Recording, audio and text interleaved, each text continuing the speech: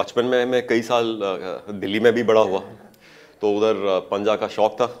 काफ़ी सारे लोगों को और दोस्तों को और कज़न भाई लोगों को सबको।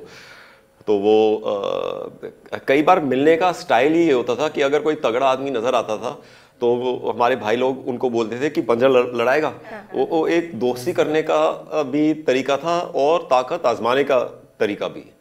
और मुझे लगता है ये एक ऐसा स्पॉट है जो आम आदमी खेल भी सकता है और सीख भी सकता है और एक आम आदमी को जोड़ भी सकता है और इसके लिए आपको ज़्यादा ट्रेनिंग वगैरह जो बाकी स्पोर्ट में जैसे क्रिकेट बैट चाहिए या ग्लव चाहिए, हर चीज़ चाहिए, टेनिस के लिए वो, इस स्पोर्ट के लिए ज़्यादा कुछ आपको इक्विपमेंट की ज़रूरत नहीं है। एक टेबल पे कई सारे लोग प्रैक्टिस कर सकते हैं। तो ये एक आम आदमी का भी खेल है, जिसमें आम आदमी इसको प्रैक्टिस करके ऑफकोर्स ताकत का भी है टेक्निक का भी है, लेकिन इसमें जो भारत है वो जुड़ सकता है साथ में। तो ये इस इसलिए मुझे अच्छा लगा कि इसका इंडियन नाम भी है। एक पंजा जो है वो हिंदुस्तानी भारतीय नाम है। तो ए, एक तरफ़ से आर्म रेसलिंग इंटरनेशनल भी बहुत फ़ेमस है। एक तरफ़ से जो पंजा है वो इंडिया में चाहे सब कोई गाँव का बच्चा हो चाहे बहुत बड़े शहर का बहुत बड़ा बिजनेसमैन हो वो सब जानते हैं कि पंजा का खेल क्या है और जो बेसिक रूल है कि हाथ पकड़ के दूसरे का हाथ नीचे करना है। वो रूल सबको समझ में आता है। जैसे फुटबॉल में सबको मालूम है कि जो बॉल है वो दूसरे के नेट में जाना चाहिए। तो इसमें भी सिंपल जो बेसिक रूल है वो सबको मालूम है कि हाथ दूसरे का हाथ आपको दूसरी तरफ़ करना है। ओके सर ये जो प्लेयर्स में ये कंपटीशन में कितने स्टेट का प्लेयर्स खेलते हैं? मोस्टली uh, सारे ही स्टेट्स। uh, जो लास्ट टाइम जो नेशनल्स हुए थे और उड़ीसा से भी तीस प्लेयर uh, गए थे।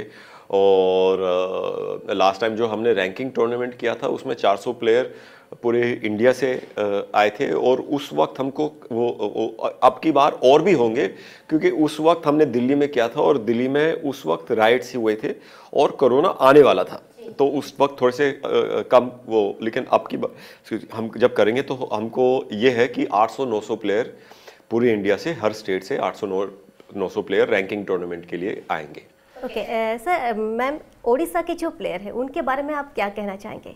देखिए उड़ीसा ने ऑलरेडी अपने आप को एक स्पोर्टिंग डेस्टिनेशन तो बना दिया है दुनिया में। हम सब जानते हैं कि वो एक यू you नो know, एक ऐसा डेस्टिनेशन जो स्पोर्ट्स को बहुत प्रमोट करते हैं।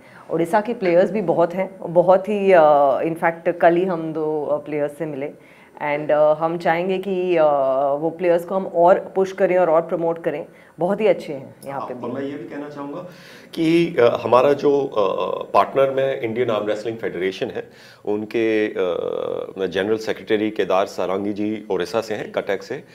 तो हमारा ये भी प्लान है कि ओडिशा में और भी इसको प्रमोट करना है। यूथ के यूथ के लिए ये फिट इंडिया के उससे भी कि फिटनेस है, ताकत है।